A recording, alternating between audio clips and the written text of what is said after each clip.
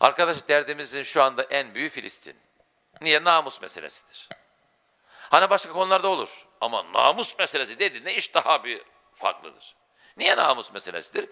Şu Kur'an-ı Kerim'in İsra diye bir suresi var. Onun ilk ayetinde sen o namus meseleni Allah anlatıyor. İlel mescid aksallezi barakna ifadesiyle. Ayetteki sözle. Diyor ki kendisi ve çevresi.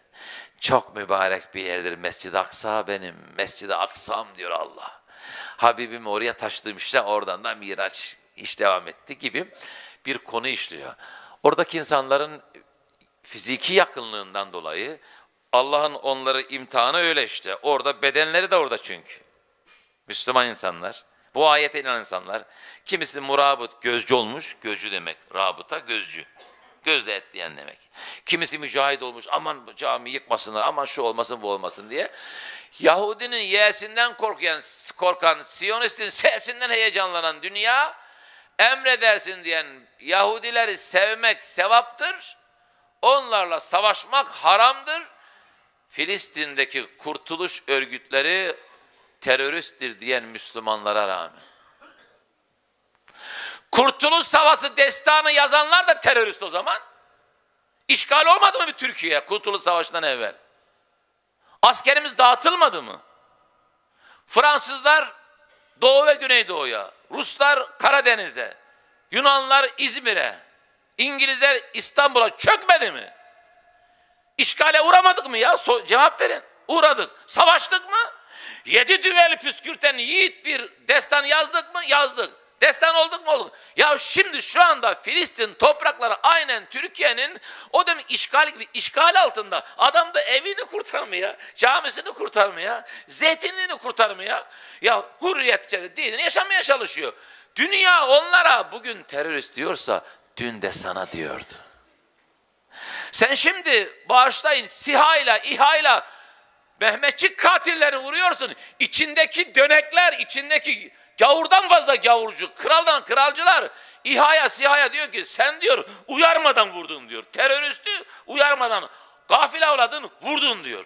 Ya Mehmetçi vurana ses yok. 15 Temmuz'da ortalığı kan gölüne ses yok.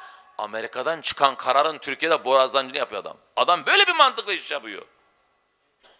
Böyle bir mantıkla iş yapıyor. Oradakiler bizim Çanakkale destanımızın kahramanları gibidir.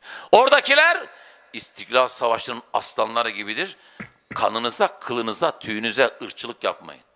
Şerefli insanlarsınız, background'ı düzgün insanlarsınız. Dünyada güzellikleri sayılamayacak kadar kıymetli bir topluluksunuz. Bunu hepimiz biliyoruz. Ama onlara saygı duyun, dua edin, destek verin. Bugün eylemin olduğu camilerde yüksek seslerle şu kainatı bir sallayın. Sözümü bağlıyorum. Unutmayın Hazreti Muhammed Mustafa sallallahu aleyhi ve sellem. Allah'ın direkt yardımını aldığı halde Feyen surakallahu nasrın azize. Çok güçlü, geri püskürtülemeyen büyük bir yardımla Allah sana yardım etti diye Fetih suresinde Allah'ın bizzat kendi yardımını Cebrail, melekler sonradan geliyorlar. Devreye giriyorlar. Girmese de olur Allah yardım etti mi kula ihtiyaç yok. Onlar da kul.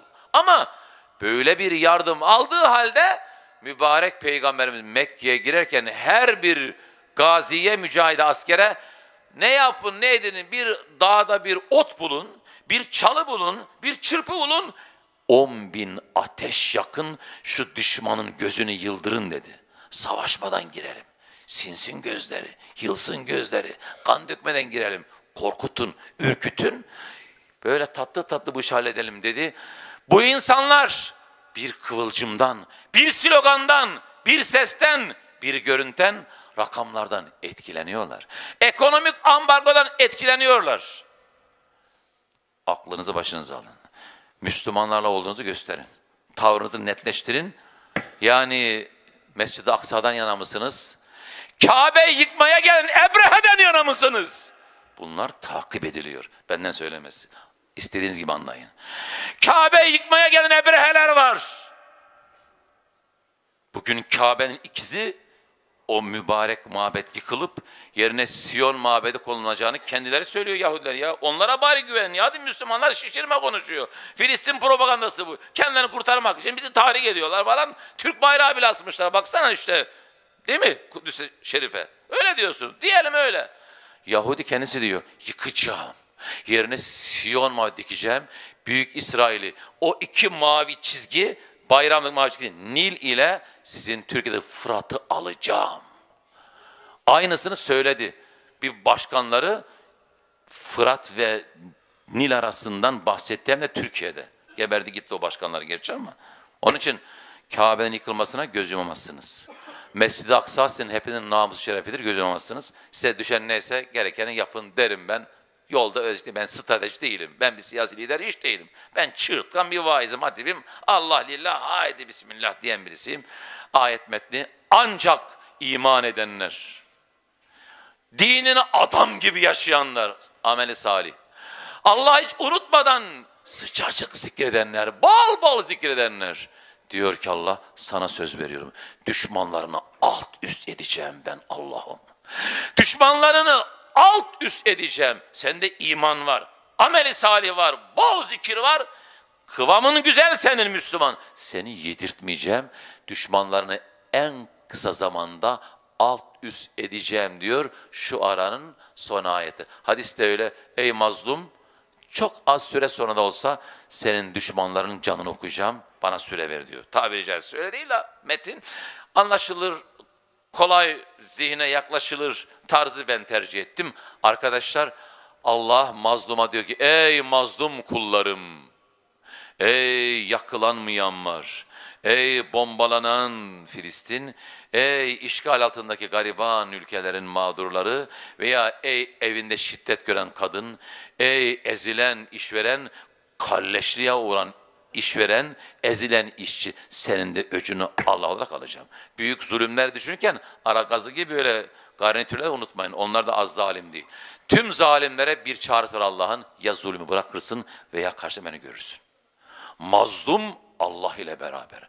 Zalim Allah'ın hasmıdır. Tehlikeli bir şeydir. Allah beraber olacağı kullardan eylesin. Desteklediği kullardan eylesin. Sahip çıkacağı kullardan eylesin. Allahü Teala cumanızı mübarek eylesin. Allahü Teala Hazretleri Müslümana merhameti, eşkıyaya nefreti ve öfkeyi tam tattıran yürekli Müslüman eylesin inşallah. Allah bugün yapılacak tüm eylemleri Siyonistlerin çöküşüne, iş birliklerinin titremesine ve müminlerin sevinmesine vesile eylesin.